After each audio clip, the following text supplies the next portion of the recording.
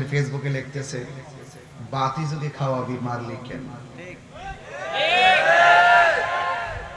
আমি দেখেছি ছয় জন আসামি ধরা পড়েছে, তারা ছয় জনের ছাত্র। যে ছাত্ররা একজন মানুষকে সন্দেহ করে আইন হাতে তুলে নেই তারা কখনো মেধাবী ছাত্র হতে পারে না। এই দেশে আইন নিজের হাতে তুলে নেবেন না। যতটুকু শুনেছি, এই ছেলেটা একটু মানসিকভাবে ডিপ্রেশনে ছিল ব্রেইন আউটের মতো ছিল। আমি প্রশাসনকে বলব, যথাযথ তদন্তের মাধ্যমে তার উপযুক্ত শাস্তির ব্যবস্থা করার জন্য। আজকেও দেখেছি, ইউনিভার্সিটিতে একটা ছেলেকে সন্দেহ করে এক দফা মারছে, মারার পরে ভাত খাওয়াইছে। ভাত খাওয়ায় আবার মারছে। মারতে মারতে তারা মাইরে ফেলছে। আমি এগুলার তীব্র নিন্দা জানাই। সারা বাংলাদেশের ফেসবুকে লিখতেছে, বাতি যদি খাওয়াবি, মারলি কেন? আমি দেখেছি ছয় জন আসামি ধরা পড়েছে, তারা ছয় জনের ছাত্র। যে ছাত্ররা একজন মানুষকে সন্দেহ করে আইন হাতে তুলে নেই, তারা কখনো মেধাবী ছাত্র হতে পারে না। এই দেশে আইন নিজের হাতে তুলে নেবেন না। যতটুকু শুনেছি, এই ছেলেটা একটু মানসিকভাবে ডিপ্রেশনে ছিল ব্রেইন আউটের মতো ছিল। আমি প্রশাসনকে বলব, যথাযথ তদন্তের মাধ্যমে তার উপযুক্ত শাস্তির ব্যবস্থা করার জন্য। আমরা হাতুড়ি দিয়ে রাজনীতি করব না। আমরা কলম দিয়ে রাজনীতি করব। আপনারা জানেন, আমরা হলো সুন্নতল জামাত শান্তিপ্রিয় মানুষ। আমরা মারামারি, কাটাকাটি, হানাহানি এগুলো পছন্দ করি না। মাধবপুরকে এবার জশ্নে জুলুস হয়েছে। কোনো মারামারি হয়েছে? এখনও মারামারি আছে? আখাউড়া তো জশ্নে জুলুস হয়েছে। কোনো মারামারি হয় নাই, এখনও কোনো মারামারি নাই। কসবাতে জশ্নে জুলুস হয়েছে, এক শ্রেণি মানুষ জশ্নে জুলুসের উপর আক্রমণ করেছে। এই জন্য মারামারি সূত্রপাত ঘটানোর কারণে এখন কসবার অবস্থা অস্থির। বিজয়নগর জশ্নে জুলুস হয়েছে, এই জশ্নে জুলুসের ভিতরে হামলা করেছে। এই জন্য বিজয়নগরের অবস্থা অস্থির। আমি প্রশাসনকে বারবার বলছি, গতকাল আমি প্রায় দুই ঘণ্টা এসপি মহোদয়ের সাথে মিটিং করেছি। এবং আমাদের একটা লোককে ধরে নিয়ে গিয়েছিলাম। আমি নিজে কোর্টে গিয়েছি, জেলখানায় গিয়েছি, তাকে নিয়ে এসেছি। কারণ আমার ছেলেটা ছিল নিরপরাধ। দাবি যদি ন্যায্য হয়, তাকে আটকাইবার সাহস কোনো জেলখানা নাই। আমরা অন্যায় করি না, অন্যায়কে প্রশ্রয় দেই না। এই আমি প্রশাসনকে বলব, রাষ্ট্রীয় প্রোগ্রাম জশ্নে জুলুসে যারা প্রথম ঝগড়ার সূত্রপাত ঘটিয়ে বিভিন্ন উপজেলাকে অস্থির করেছে, অনতি বিলম্বে তাদেরকে আইনের আওতায় আনেন আর সুন্নিদেরকে বলব, আপনারা কেউ আইন নিজের হাতে তুলে নেবেন না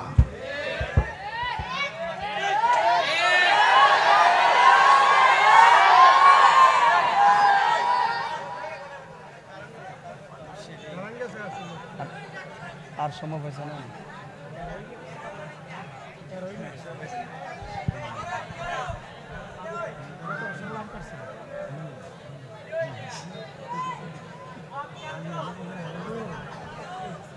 গোলাপান আরও বেশি গরম।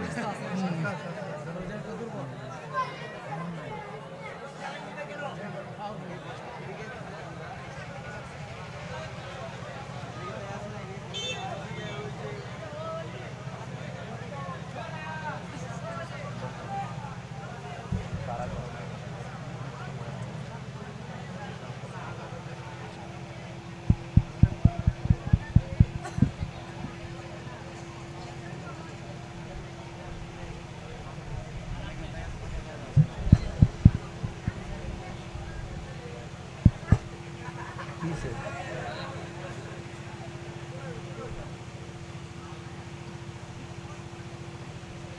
যাই হোক, আল্লাহ পাক যেন আমাদের সকলকে ফেতনা, ফসাদ থেকে হেফাজত না আমি ঝগড়া করা কি ভালো? আল ফিতনা তো আসাধ্য মিনাল ফেতনা লাগানো হত্যার চাই তারও জঘন্য। কথা বলেন, ঠিক কিনা? এই জন্য দিন শেষে আমরা একদিন চলে যেতে হবে। আমাদের আসল ঘরের নাম কি? বিল্ডিং না কবর? এন্তেজামিয়া কমিটি বলেছেন এইদিকে খেয়াল করে কিছু কথা বলার জন্য। আমি চেষ্টা করব, কিন্তু আপনাদের যুবকদেরকে বলব, রক্ত গরম করলে চলবে না।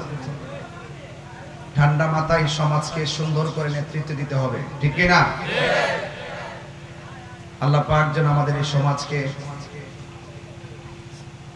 হেফাজত করে, বিভিন্ন ধরনের ঝগড়া ফসাদ থেকে হেফাজত করে বলুন, আমিন।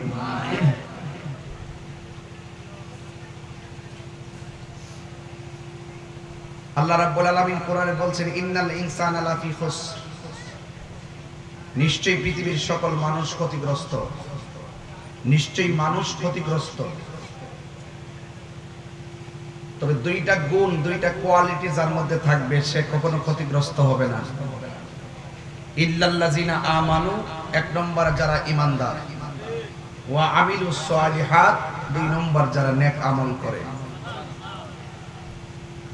আবার আল্লাহ রাব্বুল আলামিন কোরআনের আরেক জায়গায় বলছেন ওয়াবাশশিরিল লাযিনা আমানু ওয়া আমিলুস সালিহাত জান্নাতের শুভ সংবাদ তাদের জন্য যারা ঈমানদার। এবং যারা নেক আমল করে। তাই প্রথম ঈমানের কথা বলা হয়েছে। যারা ঈমানদার হবে, তাদের আমল আল্লাহর দরবারে কবুল হবে। ঈমান জিনিসটা কি? আল্লাহর উপরে বিশ্বাস করা। নবী রাসূলদের উপরে বিশ্বাস করা। তাকদীরের উপরে বিশ্বাস করা। আখিরাতের উপরে বিশ্বাস করা। আসমানি কিতাব সমূহের উপর বিশ্বাস করা। ফেরেশতাদের প্রতি বিশ্বাস করা। এগুলো হলো ইমানের শাখা প্রশাখা। আর ইমানের সকল শাখা প্রশাখার মূল হলো রাহমাতুল্লিল এই জন্য সুন্নিরা ওই মূলের দিকে আছে। মূলের দিকে আছে। বীজ যদি মাটিতে না লাগান, গাছ কি হবে? ডালপালা হবে? ফল হবে, তাহলে আগে বীজ লাগাতে হবে। এই জন্য আল্লাহ মানা, নবী মানা নয়। আল্লাহ মানা, নবী মানা নয়। নবী রোজাও নাই, হজও নাই, এক, এক- এক ইম আমলও নাই। এরপর লোকটা জান্নাতি, কেন? নবীকে মানার কারণে। এই জন্য রসুল আমাদেরকে বলে দিয়েছেন যে যারা ইমানদার হবে তারা যদি কোনো আমলের কারণে ধরা খেয়ে যায় সাফা আতিল আহলিল কাবা ইরমিন উম্মাতি। আমার উম্মতের মধ্যে যারা বড় বড় গুণাও যদি করে ফেলায়, আর তাদের অন্তর যদি নবীর মহব্বত থাকে, তাহলে রসুল তাদের জন্য সুপারিশ করে জান্নাতের বন্দোবস্ত করবে। আপনি যে ফজরের নামাজ পড়ছেন, কবুল হয়েছে কিনা জানেননি? জোহরের নামাজ যে পড়ছেন কবুল হয়েছে কিনা জানেননি? গত বছর যে রমজানে রোজা রাখছেন কবুল হয়েছে কিনা জানেননি? এখন সব নামাজ রোজা হজ জাকাত কইরা মৃত্যুবরণের পর হাসরের মাঠে উঠছেন। ওই হাসরের মাঠে যদি আল্লাহ জিজ্ঞেস করে, তোমার নামাজ তো কবুল হয় নাই? রোজা তো কবুল হয় নাই? তখন আপনি, আমি হয়তো বলতে পারি আল্লাহ এটার কবলের গ্যারান্টি কার্ড আমার কাছে ছিল না? আমরা আদায় করে গেছি। তবে শূন্য ঝুলি লইয়া তোমার কাছে উঠছি। তবে আমরা আমলের বাহাদুরি করি না। কিন্তু একটা জিনিস লয়ে আইছি, সেটা হলো নবীর মহব্বত। নবীর যে ভালোবাসেন, এটার মধ্যে কোনো সন্দেহ আসেনি। এই জন্য নামাজের গ্যারান্টি ওয়ারেন্টি কার্ড আমার কাছে নাই। রোজা কবুলের গ্যারান্টি ওয়ারেন্টি কার্ড আমার কাছে নাই। কিন্তু একটা গ্যারান্টি কার্ড আর ওয়ারেন্টি কার্ড আমার কাছে আছে। আমরা নবীরে জানের চাইতে বেশি ভালোবাসি। ঠিক কিনা বলেন? আর নবীজি বলছেন, আলা লা ইমানা লিমান লা মুহাব্বাত আলা যার অন্তরে নবীর মহব্বত নাই, তার ইমান নাই। আর এই মানটা যদি বুঝতে চান, যিনি ইমান বুঝেন তার কাছে যেতে হবে। আপনি তো নিজে নিজে বুঝতে পারবেন না। উস্তাদ ছাড়া কিচ্ছু বুঝতে পারবেন না। বাবা শাহাদাল শাহপুরানি আমরি রহমতুল্লাহ এর মাহফিল। কিছু লোক গেছিল শাহপুরানি আমরি রহমতুল্লাহ এর মাজারকে উৎখাত করে দিব না? আহা। যে শাহপুরান হাতের পাখাগুলোকে ফু দিয়া কবুতর মানে আকাশ উড়াই দিছে সেই শাহপুরান কিন্তু তোমরা রে দুনিয়ার দিকে উড়াই দিবে। কথা বলেন ঠিক না বেটে কেন কেন কেন? আল্লাহ বলছেন মানে আহাদ আলী ওয়ালিয়ান ফাকাদ আজান বিল হারবে। যারা ওলি আল্লাহর সঙ্গে বেয়াদবি করবে, আল্লাহ ডাইরেক্ট তাদের বিরুদ্ধে যুদ্ধের ঘোষণা করবে। এই জন্য আল্লাহর ওলিদের জায়গা আল্লাহই রক্ষা করবে। ওরা তো মনে করতেছে যে ওলি আল্লাহর মাজার বাইঙ্গা মারির সঙ্গে মিশাই দিলেই বুঝি সব সমস্যার সমাধান হয়ে যাবে এরা জানে না যে আল্লাহর ওলিদের মাজার কিন্তু আল্লাহর ওলিরা বানাইছে না, এটা কিন্তু ওলি প্রেমিকরা বানাইছে। কথা কোন ঠিক কিনা? ওলি আল্লাহর ভাত্তর দিয়ে ওই অলি আল্লাহদের মাজার বানাইবার আগে অলি আল্লাহর মোহব্বত দিয়ে প্রত্যেকটা আশেকের হৃদয়ে এশকের মাজার বানায় রাখছে। কথা বলেন ঠিক কিনা বলেন প্রত্যেকটা আশেকের হৃদয়ে এশকের মাজার আছে, তোমরা পাক পাথরের আর ইটের মাজার বানতে পারবা, কিন্তু আশেকের হৃদয় থেকে অলি আল্লাহর প্রেমের মাজার বানতে পারবা এই জন্য কামকেলি কইরা এই শান্তিপ্রিয় দেশটার ভিতরে আর অরাজকতা লাগায় না। আজকে যদি আপনারা যদি এই বিজয়নগরের ঘটনাটা না ঘটাইতেন, আজকে কি সারা রাত্রে রক্তক্ষয়ী যুদ্ধ হইতো? এই জন্য আমি লাইভের মধ্যে কিন্তু উভয় পক্ষকে বলেছি যে তারা যেহেতু আক্রমণ করছে, গাড়ি তাগন ধরাইছে এটার বিচার আমরা প্রশাসনিক ভাবে আদায় করব। কিন্তু কোনো পক্ষই কোনো পক্ষের সামনে দ্বিতীয়বার আর মাঠে নামবেন না। কথা বলেন ঠিক কিনা এই জন্য আমি আমার জায়গা থেকে, দায়িত্ববোধের জায়গা থেকে আমি তাদেরকে মেসেজ করেছি। এরপরও যোগাযোগ করতেছি, তারা যেন ঝগড়া না লিপ্ত হয়।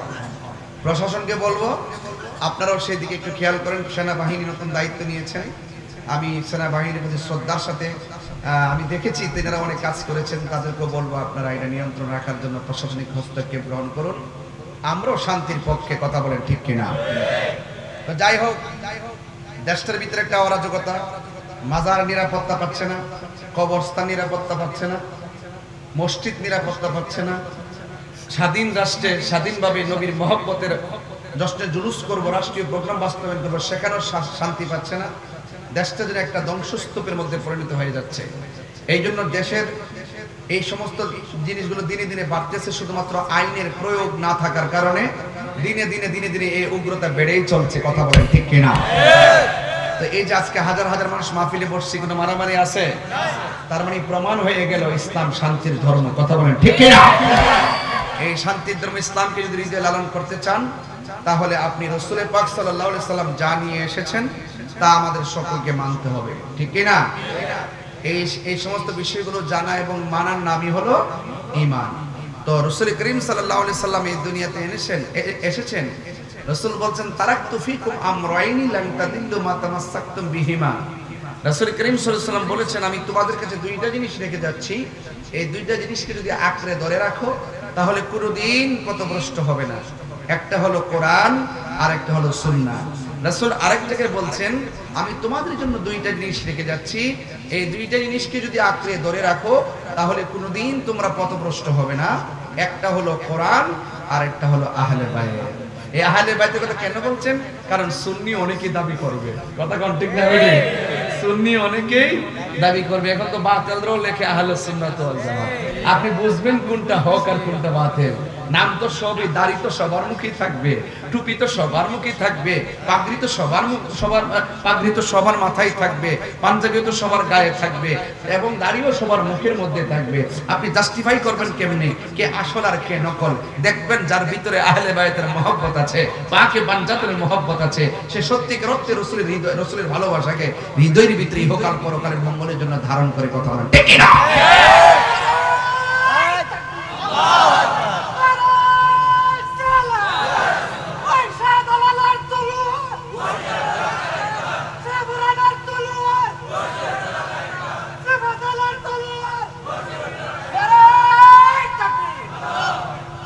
আমার ভাইয়েরা আপনাদের কাছে অনুরোধ করব আপনারা সবাই ধৈর্যের সাথে যেভাবে কথাগুলো শুনতেছেন, আমার কথা কি বুঝতে অসুবিধা হচ্ছে আপনাদের? বুঝতে অসুবিধা হচ্ছে? যে কোনো বিষয়ে আমাদের সাথে পরামর্শ করবেন। যে কোনো মৌলবীর কথা শুনে দৌড় দিবেন না।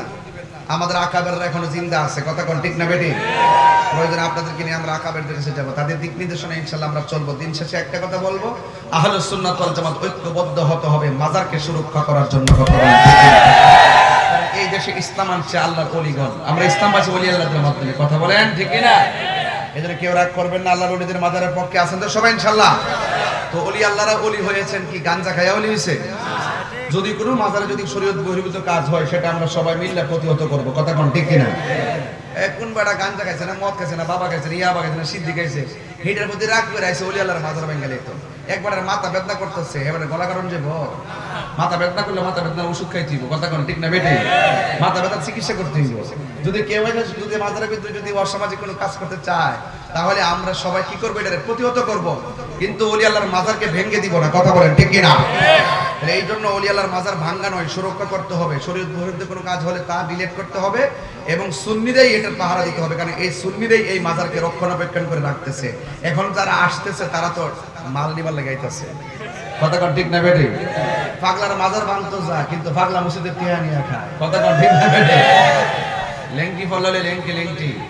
আজকে তো আমরা যারা ইসলাম পেয়েছি একমাত্র ইসলাম ধর্মের কাছে হিন্দু খ্রিস্টান বৌদ্ধ অন্য ধর্মের মানুষগুলো আমার কাছে নিরাপদ কথা বলেন ঠিক না আর যারা মাঝে মাঝে মন্দিরে আক্রমণ করে যারা মাঝে মাঝে মাজারে আক্রমণ করে মসজিদে দখলদারিত্বে তাণ্ডব লীলা চালায় তাদের কাছে ইসলাম নিরাপদ না তাদের কাছে রাষ্ট্র নিরাপদ না কথা বলেন ঠিক ইন্টারিম গভর্নমেন্টকে আমি বারবার বলেছি আমি আবারও বলছি শুধুমাত্র বসে বসে মিষ্টি ভাষায় বিবৃতি দিলে চলবে না। তার বাস্তব আইন প্রয়োগ করতে হবে। আর না হয় দেশটা যেভাবে দাঙ্গা বেড়ে চলছে, এই বাংলাদেশটা ধ্বংসস্তূপে পরিণত হচ্ছে, কথা বলেন ঠিক না বেটি আইন লাগবে, আইনের প্রয়োগ লাগবে। স্বাধীনতা অর্জনের চেয়ে রক্ষা করা বড় কঠিন, কথা বলেন ঠিক না এই জন্য আপনাদের সকলকে বলব, ইসলাম শান্তির জন্য আমরা সুন্নিরা অত্যন্ত শান্তিপ্রিয় মানুষ, আমরা নবীকে বেশি ভালোবাসি। দিন শেষে কথা একটাই, আমরা এমন একটা ঘরে চলে যাব, যে ঘরের মধ্যে আমার বাবা চলে গেছে আজকে ছয় বছর। ওই ঘরটার ভিতরে বৃষ্টির পানি ঢুকতেছে। আপনার বাবার কবরে বৃষ্টির পানি ঢুকতেছে। আপনার মার কবরে বৃষ্টির পানি ঢুকতেছে। হাড্ডিগুলা বাসতেছে কিন্তু ঘরের তুলি যদি ছিদ্র হয়ে যায়, আমরা একটা কিছু দিয়ে এই ছিদ্রটা বন্ধ করে দেই, ঘরের যেন পানি প্রবেশ না করে। অথচ আমার বাবা, আমার মা, আমার দাদা, আমার দাদি, তাদের কবরের ভিতরে কত শত বছর ধরে আজকে বৃষ্টির পানি ঢুকে ঢুকে পোকামাকড় ঢুকে ঢুকে কবরটা নাস্তা নাবুদ হয়ে যাচ্ছে, কিন্তু তাদের খবর নেওয়ার কোনো সময় নাই। একটা কথা মনে রাখবেন, তাদের খবর না নেওয়ার সময় আপনার থাকতে পারে, কিন্তু মনে রাখবেন আপনাকে ওই ঘরেই একদিন থাকতে হবে, কথা বলে ঠিক না এই জন্য ওই ঘরটাতে যাওয়ার আগে বাজান, পায়ে হাত দিয়ে বলে যায়, আমারও তো দিন দিন কি বয়স হইতেছে না? বিয়াল্লিশটা তাহলে চল্লিশ বছর। এইভাবে যে আলোচনা যে করতেছি, একুশ বছর ধরে আলোচনা করতেছি দাত্তহীন কণ্ঠে আলোচনা করতেছি। এখন কাউরে ডরায় কিন্তু আলোচনা করি না। সুন্নিরা কিন্তু কেডা দেশে আইলো, কেডা দেশ থেকে গেল, এইটা নিয়ে চিন্তা করে না। সুন্নিরা যে যে যেভাবে আসুক, ক্ষমতায় আসুক, সুন্নিরা সুন্নিয়তের চিন্তা করে কথা বলেন, ঠিক না সুন্নিয়তকে যারা মহব্বত করবে আমরা তাদেরকে মহব্বত করব, কথা বলেন, ঠিক না আমাদের অন্য কোনো চাওয়াটাও নাই, চেয়ারের পাগল আমরা না। আমরা সুন্নিয়ত প্রতিষ্ঠার পাগল, কথা বলেন, ঠিক না ভাইয়ের আমার পরিষ্কার কথা, সুন্নিরা গতানুগতিক কোনোভাবেই কোনোভাবেই সুন্নিরা এই রাষ্ট্রের অশৃঙ্খলার সৃষ্টি করতে চেষ্টা করে না। রাষ্ট্রের শান্তির চেষ্টা করে, সুন্নিয়তকে প্রতিষ্ঠান করা, সুফি দর্শনকে প্রতিষ্ঠা করার চেষ্টা করে, কথা বলেন ঠিক কিনা? যাই হোক ভাইয়েরা আমার, আপনারা এখানে এসেছেন, আমরা কবরে চলে যাব। আমাকে এন্তেজাম কমিটিরা বলছেন, আপনাদের সকলের উদ্দেশ্যে ইহকাল পরকালের মঙ্গলের জন্য কথা বলার জন্য। আমার বাবা চলে গেছে, বলুন তো আমার বাবা কি আর আসছে? এই কবরটা বড় ডেঞ্জারাস